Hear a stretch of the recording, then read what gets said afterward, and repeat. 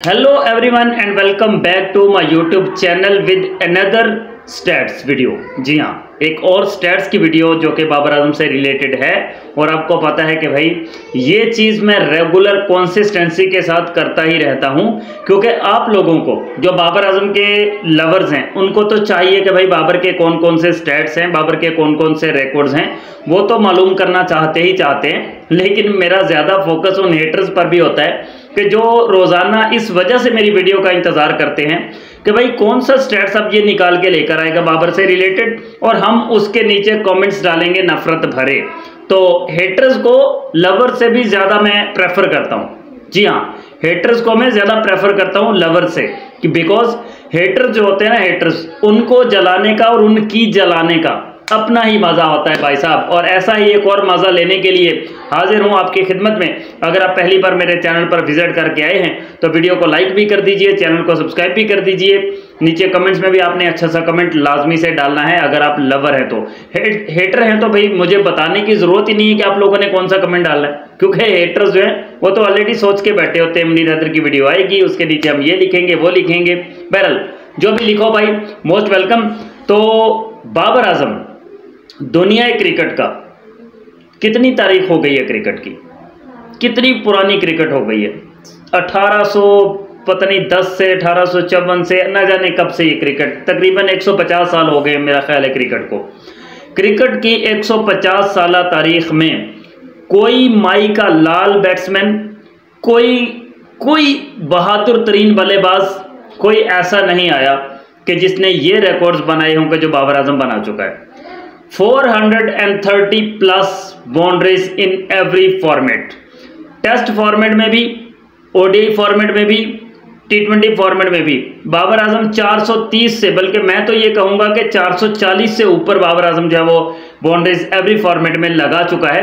लेकिन रिकॉर्ड्स की बात करें तो 430 प्लस की रिकॉर्ड जो है ना 430 तक हमने इसको कैलकुलेशन की है कि 430 से ज़्यादा चौके 430 से ज़्यादा चौके हर फॉर्मेट में कौन कौन सा बल्लेबाज लगा चुका है। तो उसकी लिस्ट जो है, वो सिर्फ़ बाबर आज़म से शुरू होती है। बाबर आज़म पर ही ख़त्म हो जाती है। मतलब पहला बल्लेबाज भी बाबर आज़म ही है और आखिरी भी बल्लेबाज बाबर आज़म ही है कि जिसने टी ट्वेंटी क्रिकेट में ओडीआई क्रिकेट में टेस्ट क्रिकेट में, तीनों फॉर्मेट्स में 430 से ऊपर चौके हर फॉर्मेट में लगाए हुए हैं। अभी आप स्क्रीन पर भी मुलाहिजा कर सकते हैं कि टेस्ट क्रिकेट में बाबर आज़म ने 454 बाउंड्रीज लगाई हुई है। ओडीआई क्रिकेट में बाबर आज़म ने 520 बाउंड्रीज लगाई हुई हैं, जबकि टी क्रिकेट में बाबर आज़म ने 440 बाउंड्रीज मतलब चौके लगाए हुए हैं, जो कि मतलब ओवर द रोप्स नहीं गए, बल्कि बाउंस करने के बाद रोप्स को क्रॉस करके गए हैं बाउंड्रीज जो आई हैं बाबर के बल्ले से। भाई कहाँ गए हैं वो पूरी दुनिया के महान किस्म के बल्लेबाज?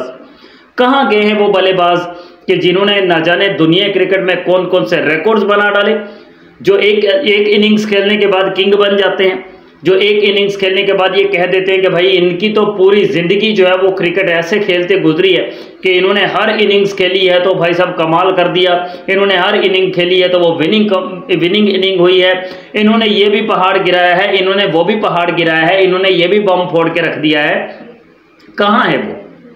मुझे तो कहीं इस लिस्ट में नज़र नहीं आते, बल्कि बल्कि इस लिस्ट की बात करें तो भाई ये लिस्ट है ही बाबर आज़म की।